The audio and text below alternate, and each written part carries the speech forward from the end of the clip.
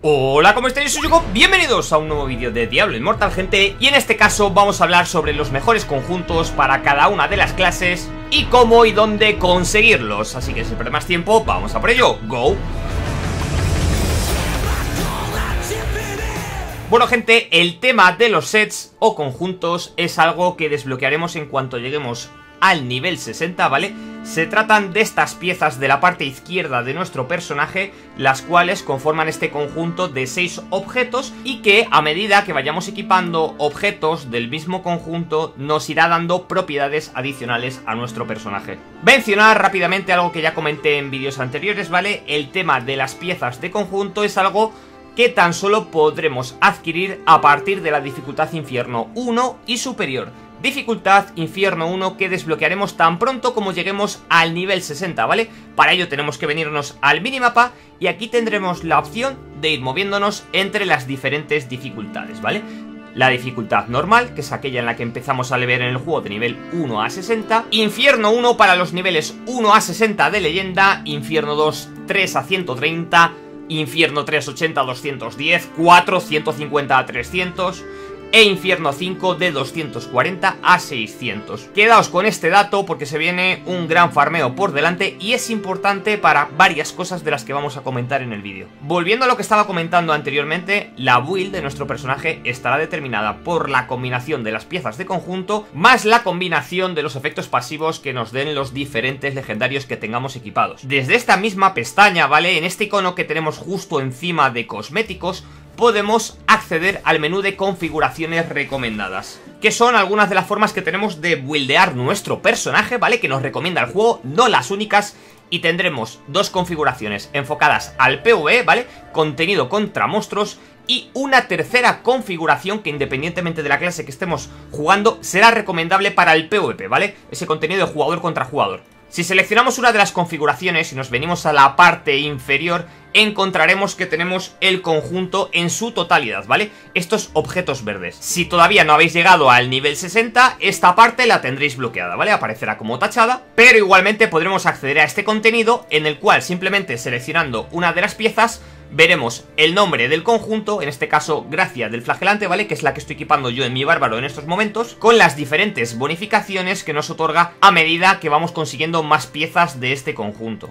Hasta aquí todo claro, pero estos días atrás me he dado cuenta que todavía había gente que no sabía dónde se conseguían cada uno de los objetos. Nada más sencillo que si hemos llegado hasta este menú, seleccionamos uno de los objetos, ¿vale? Tenemos varias formas para verlo, pero esta es una de ellas y le damos a este botón grande que nos dice cómo conseguir. Aquí nos dirá que para el caso de los guantes tenemos que ir a la mazmorra Caverna de los Ecos en dificultad Infierno 2 o superior. Importante porque ya he enseñado al principio que cada una de las dificultades tiene un requisito de nivel de leyenda, por lo tanto los guantes será un objeto que no podemos conseguir inicialmente. Y así podríamos ir viendo cada uno de los objetos donde nos cae. Otra forma muy sencilla y muy rápida de ver el conjunto en su totalidad, ¿vale? Donde nos caen todos los diferentes objetos, sería venirnos a cualquiera de los objetos que hemos conseguido, ¿vale? Los seleccionamos, vamos bajando hasta la parte de objetos de conjunto y aquí tendremos este pergamino con lupa clicamos y aquí tendremos los seis objetos del conjunto, ¿vale? Esto es algo que se va a repetir en todas las clases y en todos los sets. Las botas y el cinturón, si os dais cuenta, caerán en diferentes mazmorras, dependiendo del set que estemos completando, siempre serán en dificultad infierno 1 o más. Por lo tanto, botas y cinturón serán las primeras piezas que consigamos del conjunto. En el caso de guantes y amuleto necesitaremos dificultad infierno 2 o más. Lo mismo, dependiendo del set o conjunto que estemos completando, tendremos que sacarlo de una mazmorra o de otra.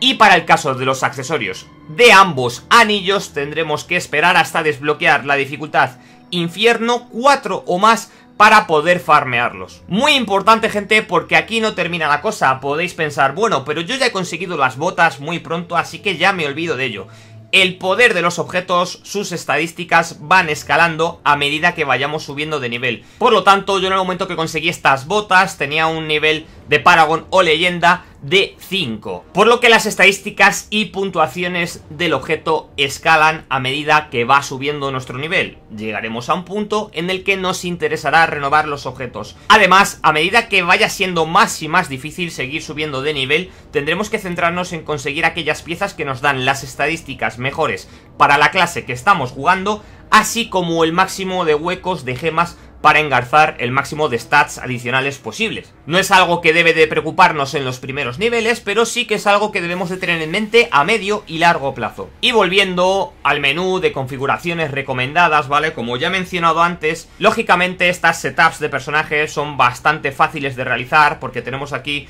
una guía total, tanto como de los atributos que se recomienda que vayamos subiendo, como las piezas de conjunto, las gemas, los propios legendarios y habilidades, pero lógicamente fuera de estas tres configuraciones recomendadas, contamos con opciones adicionales, que en algunos casos pues nos interesará montar con algunos objetos legendarios o piezas de conjunto, que ni siquiera nos sale recomendada en ninguna de estas tres opciones. O bien porque queremos llevar un personaje mucho más de soporte, más enfocado a apoyar al equipo, o bien porque queremos jugar una build que juegue alrededor de algunas de las habilidades que no se contemplan en ninguna de estas configuraciones y así destacar otro estilo de juego de nuestro personaje. Simplemente comentaros esto muy rápido gente, espero que os haya gustado el vídeo, que os haya sido de utilidad, si es así no olvidéis dejar vuestro like, suscribiros al canal para no perderos nada relacionado con Diablo Inmortal, cualquier cosa que queréis añadir, como siempre, aquí abajo en la cajita de comentarios, a través de mi Twitter, donde voy publicando todas las cosas, arroba con 3 Y, o en mi Twitch, donde ya sabéis que estoy todos los días streameando, a las tardes, noches, Yugo con 3 Y